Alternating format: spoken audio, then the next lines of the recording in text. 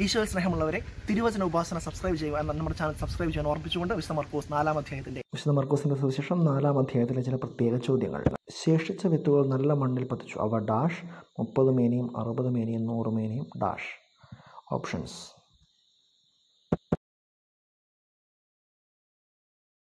ഉത്തരം തഴച്ചു വളർന്ന് ഫലം വിളയിച്ചു. സി.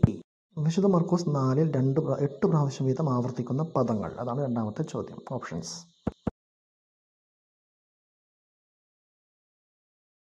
ഡി ആണ്. ഉപമ വിത്ത്. ഇനി വചനം എന്ന വാക്ക് എത്ര പ്രാവശ്യം ആവർത്തിച്ചിട്ടുണ്ടെന്നാണ് അടുത്ത ചോദ്യം. ഓപ്ഷൻസ്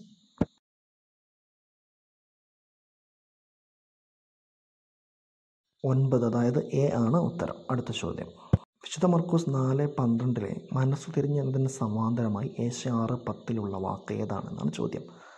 ഓപ്ഷൻസ് ശ്രദ്ധിക്കുക.